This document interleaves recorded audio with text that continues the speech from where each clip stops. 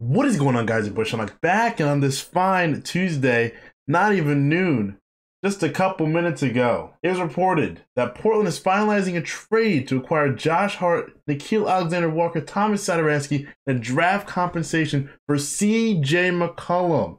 This is on Shams. Wojo tweeted out. Everyone and their mothers tweeting it out. Absolutely insane stuff going on here. No one would have thought that this was going to go down, but I guess the Knicks lost again on another trade. I'm looking at you, Kyle. Your team is hopeless. So this is actually crazy stuff that I was not expecting to be reading today. Is Damian Lillard going to stay in Portland past this season? Now, I'm a Philly fan. I'm telling Dame it's all ears. Like, come on over. Like, we're waiting for you. This man just got absolutely backstabbed by his organization. They just took his second hand man, which I said eventually that they were going to trade, but they traded him for almost like a core, just young players. Like Nickeil's solid, Josh Hart's solid, Thomas Satoransky, eh. Draft compensation is never a great sign because you know, like it's just money. Like it's literally just money.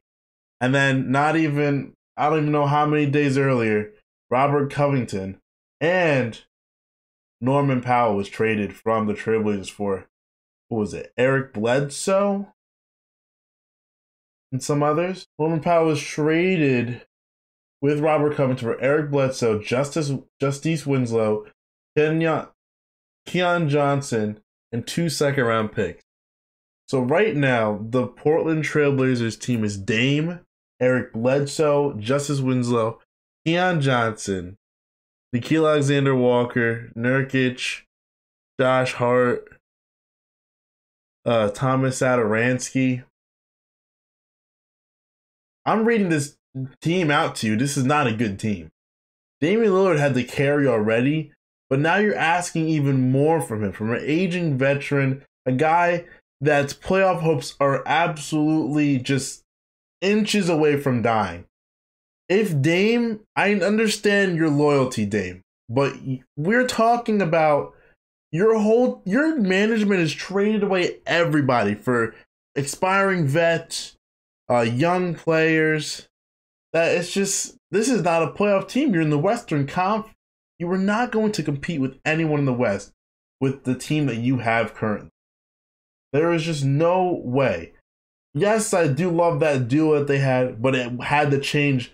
But was this a trade? CJ got significantly undercut for Norman Powell and Robert Covington went for. Like Norman Powell was really good, or is really good. He's a three and D player, and he gets straight buckets. Now, you're to tell me that that's the trade that that's to happen? That's the trade that's happening? This is this is what it what you trade for? That's I don't know. To me, yeah, Dame trending in the NBA for good reasons right now. Like this is the three. I mean, whenever Zion wants to play. But I mean, this isn't a bad team.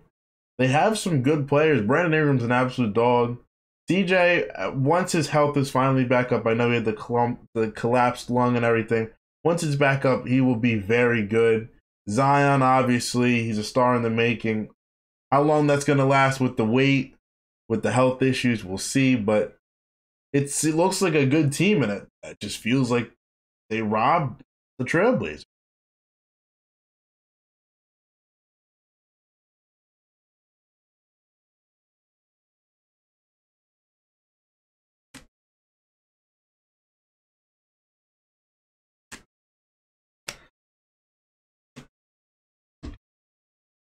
Yeah, he gets paid like thirty-one million dollars.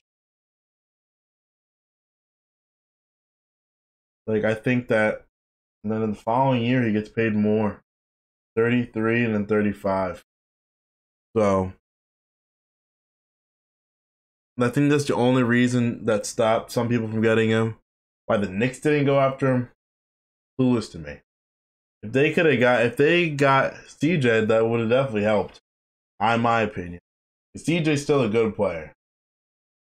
Because if you go to CJ stats, if he came back and played like he did last season, he's averaging 20, 4, and 4.5.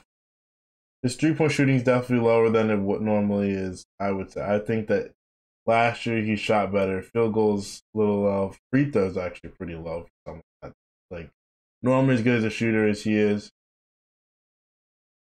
I mean,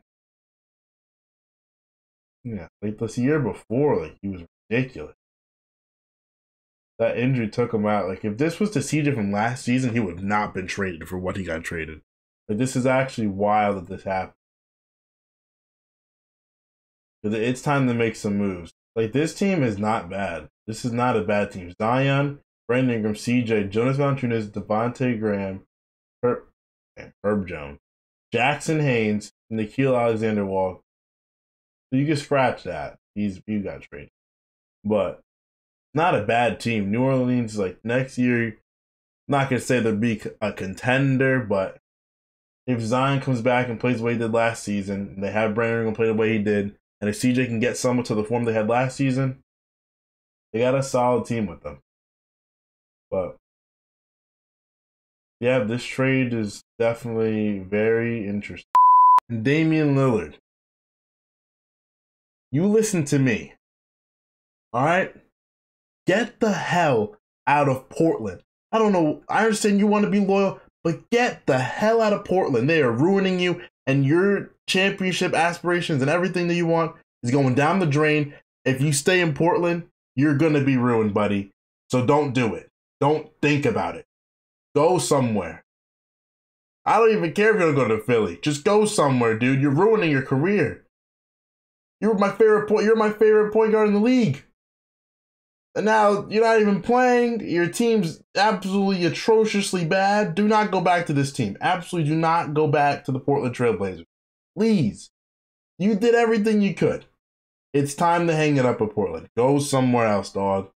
Get on the phone. Daryl Morey wants to trade for you. Let him trade for you. Get Ben Simmons in Portland. I'm here. Do your thing. Please. Just get out of Portland. For the love of God, please.